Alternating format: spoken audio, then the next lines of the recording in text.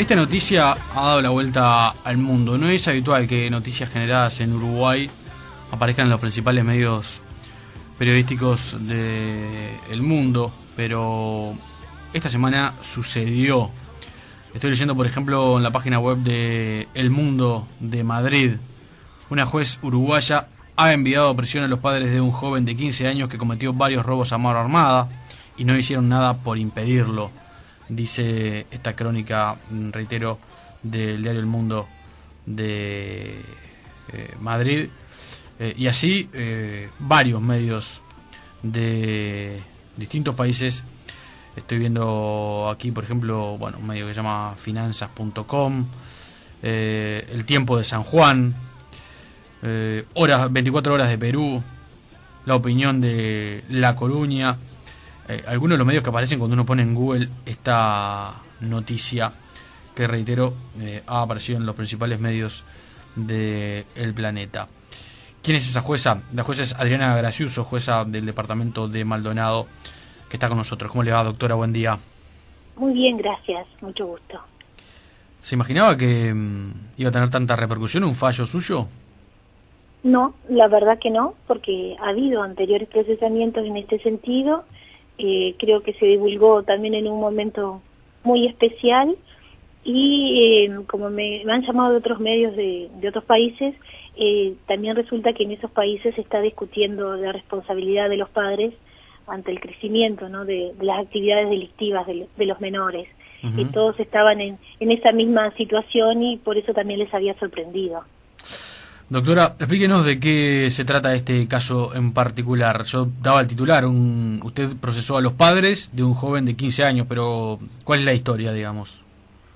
La historia en sí, el, los hechos de este procesamiento, en donde es pedida por Fiscalía, por la doctora Estela Llorente, el procesamiento, y yo accedo a ello, es que eh, estos padres detectan que su hijo, un estudiante, tiene en su mochila un arma solo le dicen devolvela, no se interesan más por esa situación, nunca más preguntan, no hacen nada activamente contra ello y resulta que luego esta arma es usada en siete de las rapiñas, algunas con participación de, su hijo, otras con otros menores, eh, y esa arma es la que participa en todo ello, hubo hasta disparos, no hubo muertes por esas casualidades, por esas suertes del destino, y esos padres son gente de trabajo que no se preocupan por su hijo. Eh, este joven, eh, en algunos casos con, junto a otros, realizó siete rapiñas en el departamento de Maldonado utilizando esa arma. Exacto, exacto. Eh, variaba la integración de la banda, entre comillas, pero fueron todas rapiñas a mano armada.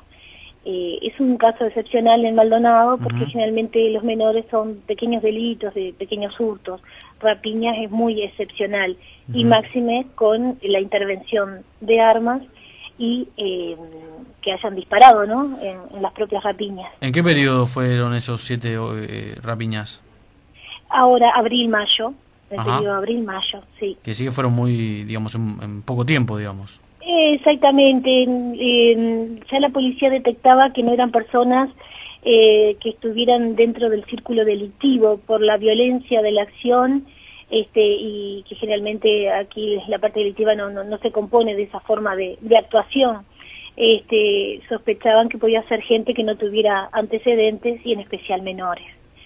También intervino un mayor de edad que hacía poquito había cumplido los 18 años. Eh, ¿Cuáles son las características de esta familia, digamos, de los padres y de este menor de 15 años? Digamos, desde el punto de vista eh, social. Este caso, claro, es más excepcional porque hay gente que trabaja, ¿no? Y menores que estudian. Generalmente los que se presentan en los juzgados son menores que no estudian y personas a veces que están, eh, los padres un poco más marginados, ¿no? Con, con trabajos temporarios, pero no era el caso. ¿Los padres trabajan los dos? Sí, sí. creo que la, la trascendencia de este, de este acto es que eh, gente de trabajo, que a veces es excepcional, ¿no? O gente que este, no está dentro del círculo delictivo, del circuito delictivo. Creo que lo que se puso énfasis es que si bien los padres no tienen participación en las rapiñas, no sabe que el hijo las efectuó o que otros menores con esa arma la efectuaron, el delito que es independiente de lo que sea rapiña, la omisión a los deberes de la patria potestad, lo que revela es esa apatía, ese desgano, ese abandono, la negligencia por no preocuparse por el destino de su hijo, por orientarlo, por apoyarlo, por encauzarlo eh, en, algo social, en una comunidad. Por el contrario, se deslindan solo diciéndole, dijo, devolvela y nada más que eso. Doctora, Son conductas omisivas. ¿En qué actividad trabajan los padres? Más detalles yo no puedo dar de gente Pero de trabajo. en líneas generales son empleados de... exactamente, gente empleada, exactamente. ¿Y, y, el, ¿Y el chico eh, va al liceo? Este chico y otro de los que intervenían estudiaban, exactamente, estudiaban. También a veces que son casos excepcionales porque muchos de los que están en la parte delictiva, menores, son menores que han abandonado los estudios. Claro. Eh, ¿Cómo llegan a, identificar a, a, este joven de 15 años como el autor de esas rapiñas? toda una investigación policial brillante de la, de la sección de investigaciones de Maldonado, donde había habido un pequeño hurto, donde intervinieron uno de los menores participantes junto con el mayor y de ahí empiezan a sacar conclusiones por los parecidos físicos de lo que había descrito las personas por las rapiñas y llegan así a, estos dos y a, a, través de ellos a la participación de los otros menores. ¿Y qué dijo el menor cuando, eh, cuando se presentó en la justicia o cuando fue trasladado a la justicia? Los menores todos colaboraron y confesaron todas las rapiñas que, que habían hecho, más allá de los reconocimientos, de las descripciones físicas o filmaciones que pudieran haber, todos colaboraron en la situación y este, confesaron lo que lo que han hecho. es muy común que mm. eh, los menores confiesen, digan lo que han hecho, este, ellos sienten como una expiación también al, decirlo. Ah. En eso generalmente no, no hay problemas aquí en los estrados judiciales, ellos dicen las acciones que cometieron. Pero, digamos, ¿cuál fue el, el digamos, el, argumento que, que dieron para, para, para, para, para explicar lo que habían hecho? ¿Por qué lo Los menores generalmente son extras a sus vidas, ¿no? Este, para comprar otras cosas que quieren tener, no para eh, no el alimento diario, ¿no? Más allá de eso, son extras en su vida eh, y algunos de ellos, como generalmente ocurre, nos dicen que es para comprar droga. ¿Era este en el este caso? no todos era para comprar droga, solo algunos. Pero este, por ejemplo, el, este menor de 15 años, que, el hijo de los padres procesados, no le voy a dar detalles especialmente de cuáles los menores. En este no todos eran para comprar droga, pero es una constante eh, en los procedimientos de menores que sean para comprar droga. Ahora, porque se lo pregunto para, para entender un poco el cuadro, digamos, son padres que trabajan, es decir, que tienen un, mínimo de ingresos y una, una situación social eh, digamos que con, con lo con lo con sí, modesta pero dentro de los cánones del trabajo no verdad como todos que y, trabajamos y, con un hijo adolescente que va que estudia que va al liceo pero de todas maneras para él no es suficiente digamos considera que necesita eh, más dinero eh, por eso eh, opta por salir a nos pasa mucho más allá de este caso nos pasa mucho que quieren tener otras ropas ropas de marca o o, extras en su vida para salidas, etcétera, que las pueden tener, ¿no? también con sus padres, pero bueno, quieren ampliarlas, digamos, y este lo, hacen para eso. No, no hay explicaciones lógicas. Eh, los delitos no, no tienen explicaciones lógicas realmente. Por eso es que a los menores, este, más allá de las internaciones en sus eh, en el INAO los tratan de con pericias psiquiátricas y psicológicas para un reencauzamiento, porque no, no tienen explicaciones estas cosas. ¿Por qué usted decide interrogar a, los padres? Digamos, ¿Es parte del proceso o, hubo algo que a usted le llamó la atención? La prisión... No, no, no, eh, eh, digamos, interrogarlos, digamos, que, que, que, comparecieran los padres. De todas las, dentro de todas las investigaciones nosotros siempre les preguntamos a los padres cuál es la situación, este cuáles las actividades de ellos, porque ellos son los que tienen que orientar a los hijos. ¿Y en este caso qué dijeron los este padres? Y en este caso, evidentemente, surge de la investigación que eh, ellos sabían de la existencia del arma. ¿Y, y, explicaron cómo, cómo sabían, digamos, por qué sabían? Claro, justamente, por eso que terminan siendo procesados más, allá de la, mm. más allá de las declaraciones de ella, por declaraciones de otros. Pero digamos, pero los padres reconocen que efectivamente sabían que, que su hijo tenía un arma de fuego. Un padre sí, el otro no. Pero otros indicios y otras declaraciones nos llevaron a concluir que ambos sabían de esa existencia. Ahora, ellos sabían, pero dicen que no, no se habían preocupado más allá de decirle que devolviera esa... Exacto, exacto. Esa es la, la y la negligencia que se entendió para procesarlos. ¿Y ellos sabían que su hijo estaba robando? Al parecer no. Al parecer, en primera instancia, en esta altura de los procedimientos, podemos decir que no. No tenían antecedentes los padres. Exactamente, ni, ni los menores. Solo uno por un pequeño hurto que había habido hace unos poquitos días, pero nada más que eso. Eran toda gente sin antecedentes. ¿Y cuál es el delito que usted eh, considera que cometieron los padres concretamente? Los padres, coincido con Fiscalía, en el artículo 279b del Código Penal, la omisión de los deberes inherentes eh, a la patria potestad, a la asistencia que pone en peligro, la falta de asistencia que pone en peligro la salud moral o intelectual del hijo menor. Ese es nuestro código. ¿Tienen otros hijos? Esta familia sí, todos eh, y los demás menores también tienen varios hermanos. ¿Es una situación que se repite esta, eh, por lo menos en el departamento de Maldonado, por la realidad que usted conoce, digamos, de padres que tienen que tienen trabajo, que tienen este, eh, que envían a sus hijos a, estudiar y que de todas maneras están involucrados en delitos? Mire, esta fue una, eh, una situación que se repite, eh, pero yo le, digo, para pequeños hurtos son generalmente lo que cometen los menores, que los cometen a espalda de, de los padres para hacerse algunas extras o, o por el tema de droga. Eh, hay sí mucha gente que trabaja y se preocupa también porque van pidiendo ayuda previamente porque ven que los hijos están consumiendo.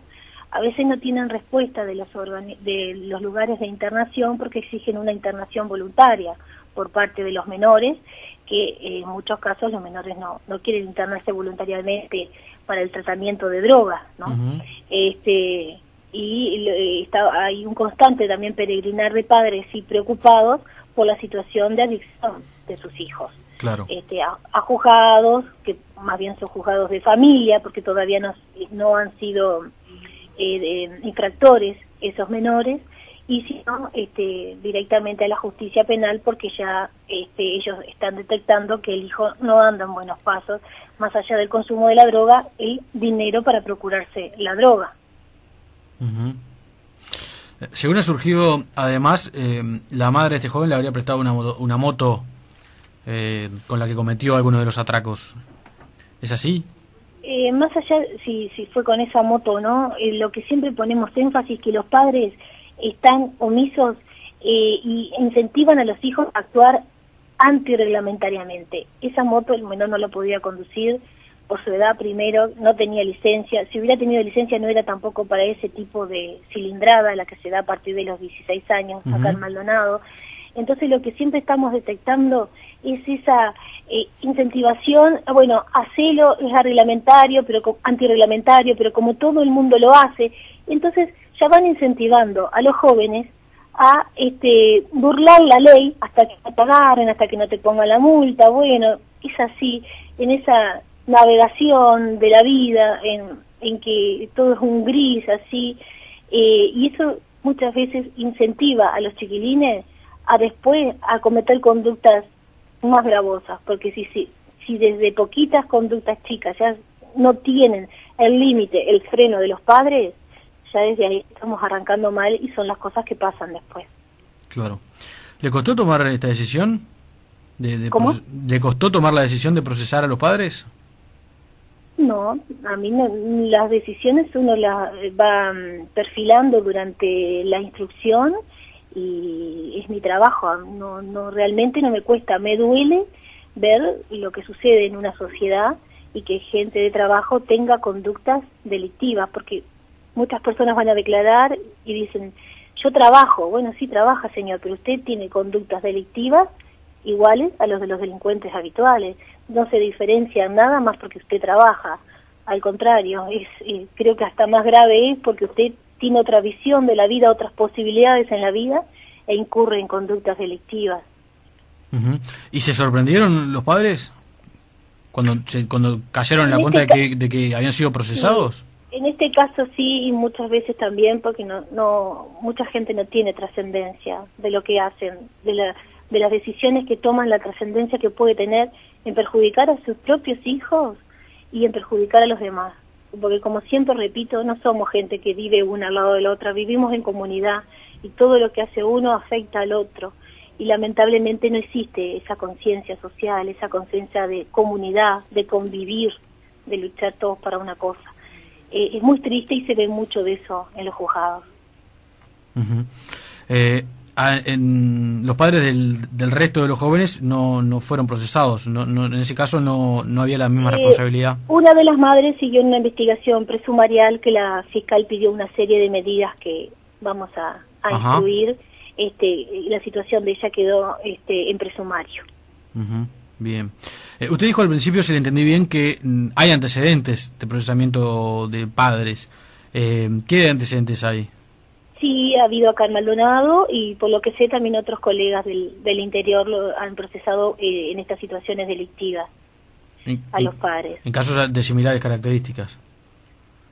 Sí, no sé si es similar eh, este, en cuanto al tipo de personas este, que fueron procesadas, pero sí ha, habido por la reiteración delictual de sus hijos, que evidentemente se veía que no había una preocupación de los padres en hacer todo lo necesario para que el hijo no incurriera en eso.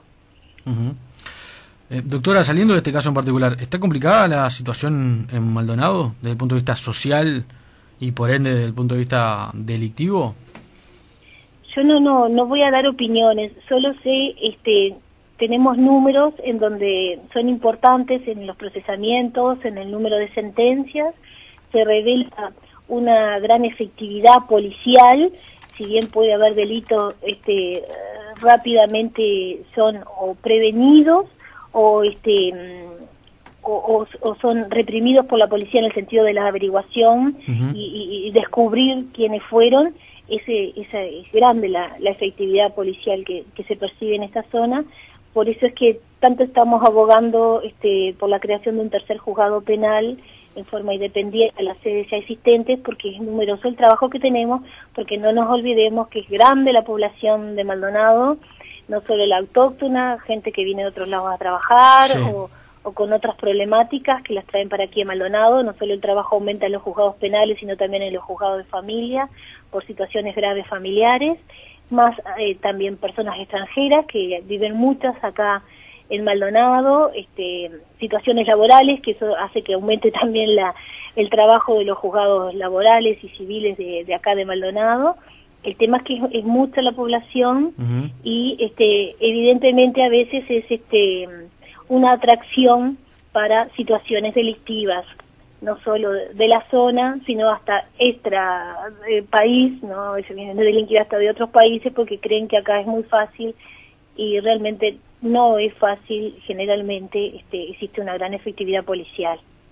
¿Usted es oriunda del departamento? No, no, no, no. Yo soy oriunda de Montevideo y he sido juez aquí en Maldonado eh, como juez de paz y he sido juez letrado en Chuy y luego acá juez Pérez. Claro. Porque Más allá de, mm. que he sido también actuaria en este cuando era joven, cuando empecé en el Poder Judicial, fui actuaria en juzgados de familia y en juzgados penales. Claro, porque de alguna manera eh, usted describe una realidad que no viven muchos departamentos. Maldonado es un departamento con muchas particularidades. una de las particularidades es esa, ¿no? Que llega mucha gente al departamento desde otros lugares eh, a trabajar, en algunos casos a buscar trabajo en otros casos, o a trabajar y luego quedar sin trabajo porque hay, un, hay mucho trabajo zafral. Eh, y eso genera una realidad social muchas veces distinta de que, a la de otros departamentos, sobre todo los departamentos del interior, ¿no? Y sí, cada departamento es un mundo, porque si usted me hubiera llamado cuando yo era juez de Chuy, yo le habría hablado de otras cosas, ¿no? De los abigeatos, especialmente, y de un tipo de hurtos dentro de un contexto de pobreza en Chuy, ¿no? Este, y acá es diferente la, la realidad, eh, por eso eh, yo hablo y capaz que otros no me pueden entender porque la realidad montevideana es diferente, muy diferente con menores con una violencia extrema, por ejemplo, de lo que se ha visto en estos días, este, y por ahora eso no está pasando acá en Maldonado y esperemos que nunca pase. y justamente estas, este, estos procesamientos que sirvan de ejemplo y de prevención también, por eso el, motivo de las divulgaciones, para que, para que se vea, este, que se, que se aplican las leyes, que se que se está más atento, capaz que porque es más chico acá y nos controlamos a veces entre la propia población y existe esa vergüenza pública de todos conocernos. Doctora, estábamos eh, describiendo la situación de Maldonado y yo quería preguntarle ya en el, cierre de la entrevista eh, si usted cree que, es posible ese rol de la justicia, digamos que un fallo de la justicia genera de alguna manera eh, una, una lección hacia, en este caso, otros padres que tienen hijos menores o adolescentes y que de alguna manera mm, pueden no estarle prestando la debida atención. Yo creo que sí, porque la justicia es el examen de situaciones para ver si ellas están en contra de la ley. Se examinó esta situación, se vio que se estaba en contra de la ley, se procedió en consecuencia. Creo que sí, que sirve de, de orientación a los demás en el sentido de que entiendan que hay conductas que son delictivas, por más gente de trabajo que se sea, que la vida en sociedad es otra cosa, que para eso están las normas, para poder convivir y ayudarnos mutuamente y salir todos adelante mutuamente, no son para el egoísmo, no son para el no te metas, no son para que, bueno, todo el mundo lo hace, no son, bueno, la vida es así, al contrario, esas normas la hicieron gente en representación de todos nosotros para poder vivir en paz, para poder progresar, trabajar, estar tranquilos. Ese es el sentido de la justicia y el sentido de las divulgaciones de esto, para que se vea que tenemos que estar viviendo en sociedad y que las cosas se tienen que cumplir. Bien. Doctora, le agradezco mucho estos minutos, ¿eh? ha sido muy amable. por favor, a las órdenes, que pasen bien. Muchas gracias. ¿eh? La doctora Gracioso, como decíamos, es la jueza penal de segundo turno del departamento de Maldonado y, bueno, ha eh, procesado a los padres de un menor, un joven de 15 años que cometió una serie de rapiñas en el departamento de Maldonado. Eh, bueno, y de entender de la fiscal y de la jueza, los padres estaban en conocimiento de que el hijo tenía un arma de fuego eh, y de alguna manera hicieron, eh, no cumplieron con los deberes inherentes a la patria potestad, lo cual implica un delito.